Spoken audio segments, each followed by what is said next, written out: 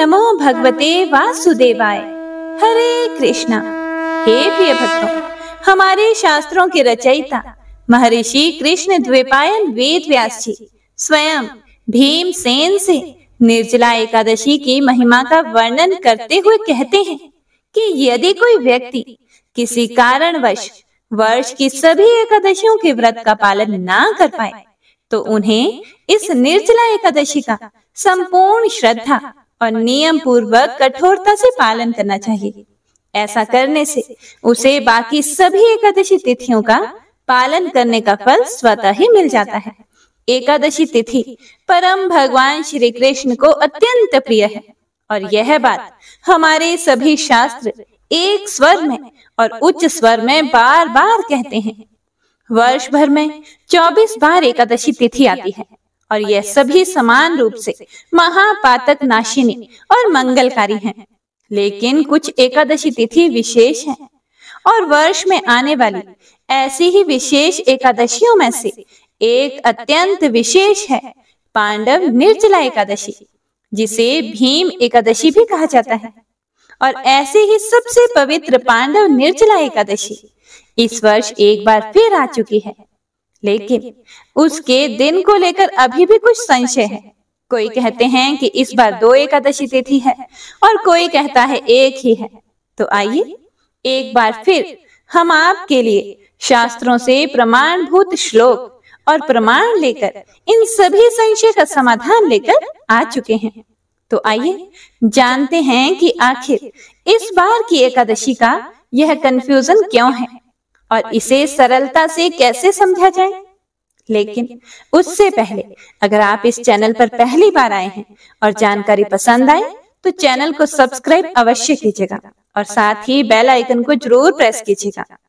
हे प्रिय भक्तों, पांडव निर्जला एकादशी प्रत्येक वर्ष ज्येष्ठ मास के शुक्ल पक्ष में आती है और इस बार निर्जला एकादशी का पालन हम करने वाले हैं 18 जून 2024 मंगलवार के दिन। इस दिन ब्रह्म मुहूर्त का समय। उत्तर भारत में है सुबह तीन बजकर सैतालीस मिनट पर और सूर्य उदय का समय है सुबह पाँच बजकर तेईस मिनट पर। अगले दिन यानी कि द्वादशी पर निर्जला व्रत पारण का समय रहेगा। प्रातः काल पाँच बजकर चौबीस मिनट से लेकर सात बजकर तीस मिनट के बीच में। और यह एकादशी तिथि का प्रारंभ हो रहा है। सत्रह जून 2024 सुबह चार बजकर तैतालीस मिनट पर और समाप्त होगी 18 जून मंगलवार को सुबह छह बजकर चौबीस मिनट पर। हे प्रिय भक्तों, देखिए, आप सोच रहे होंगे कि जब एकादशी तिथि 17 जून सोमवार को सूर्य उदय के समय में ही प्रारंभ हो जाती है तो फिर हम उसका पालन 17 को ना करके 18 को क्यों कर रहे हैं?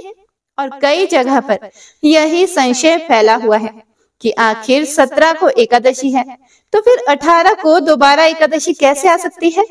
तो इसका उत्तर हमें मिल रहा है भविष्य पुराण में, जहाँ कहा गया है अर्धरात्रम अतिक्रम्य दशमी यदि दृश्यते, तदा ही एकादशीं त्वक्त्वा द्वादशीं समुपोषयेत्। अर्थात, यदि दशमी मध्य रात्रि को पार कर जाती है तो एक वैष्णव को उस दिन एकादशी व्रत का पालन ना करके द्वादशी पर व्रत का पालन करना चाहिए। तो इस श्लोक के अनुसार, अगर आप पंचांग में देखेंगे तो इस बार की दशमी तिथि 16 जून रविवार को मध्य रात्रि पार करके 17 जून सोमवार को प्रातः चार बजकर तैतालीस मिनट तक विस्तारित हो रही है। इसीलिए 17 जून को जो एकादशी तिथि है, वह दशमी मिश्रित एकादशी कहलाएगी। गरुड़ पुराण, भविष्य पुराण और शिव रहस्य में एक श्लोक आता है। उद्यात प्राक्यदा विप्रा मुहूर्त दव्य संयुता, संपूर्ण एकादशी नाम, तत्रेव उपवसेद गृहो। जिसका अर्थ है कि हे ब्राह्मण, यदि सूर्य उदय से छियानवे मिनट पहले एकादशी उपस्थित है तो वह पूर्ण और शुद्ध एकादशी कहलाती है। इस एकादशी के दिन एक गृहस्थ को भी उपवास करना चाहिए। इस श्लोक के अनुसार, अगर कोई एकादशी सूर्य उदय के छियानवे मिनट पहले, यानी कि ब्रह्म मुहूर्त के समय में उपस्थित है, तभी उसे शुद्ध और पूर्ण एकादशी कहा जाता है। तो 17 जून को आने वाली एकादशी तिथि सूर्य उदय से छियानवे मिनट पहले, यानी कि ब्रह्म मुहूर्त के समय में उपस्थित नहीं है, क्योंकि उस दिन ब्रह्म मुहूर्त के समय में दशमी तिथि चल रही है। इसीलिए 17 जून को आने वाली एकादशी तिथि को पूर्ण शुद्ध नहीं माना जा सकता, और इसीलिए उसके अगले दिन, यानी कि 18 जून को ही हम निर्जला एकादशी का पालन कर रहे हैं। कूर्म पुराण नारद पुराण और विष्णु रहस्य में तो यहाँ तक बताया गया है कि केवल मूर्ख व्यक्ति ही दशमी सम्मिलित एकादशी व्रत का पालन करता है और उन्हें पिछले बारह वर्षों का एकादशी व्रत पालन करने का फल प्राप्त नहीं होता। इसका सीधा अर्थ यह है कि यदि आपने इस बार गलती से भी दशमी युक्त एकादशी का पालन कर लिया तो पिछले बारह वर्षों तक आपने जो भी एकादशी की है उन सभी का पुण्य फल क्षीण हो जाएगा नष्ट हो जाएगा। और ऐसा हम नहीं यह शास्त्र कह रहे हैं। हे। प्रिय भक्तों तो देखिए ब्रह्म व्यवर्त पुराण में भी कहा गया है कि जिस प्रकार गंगा जल के एक पात्र में एक बूंद मदिरा मिल जाने पर वह त्याग के योग्य हो जाता है। उसी प्रकार वह एकादशी जो सूक्ष्मता पूर्वक भी दशमी से युक्त हो जाए तो वह भी त्यागने योग्य बन जाती है। विशेषकर जो भगवान श्री विष्णु की आराधना करने वाले वैष्णव हैं। उन्हें इस बात का अवश्य ध्यान रखना चाहिए कि वे कदापि दशमी युक्त एकादशी का पालन ना करें।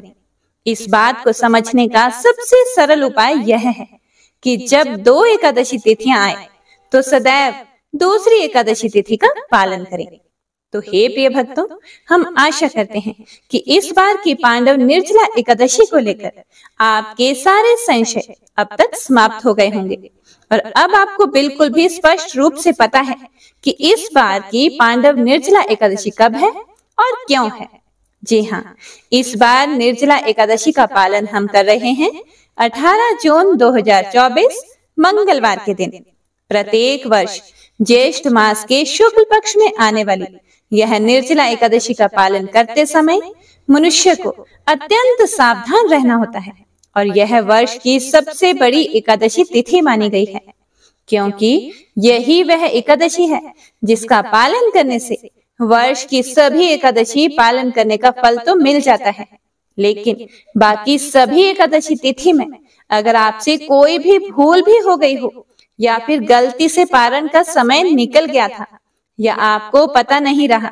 और किसी भी एकादशी में आपने कुछ अन्य युक्त पदार्थ खा लिया तो निर्जला एकादशी एक स्वर्ण अवसर है अपने उन सभी अपराधों के लिए क्षमा याचना करने का और इन सभी पूर्व पुण्यों को पुनः अर्जित करने का।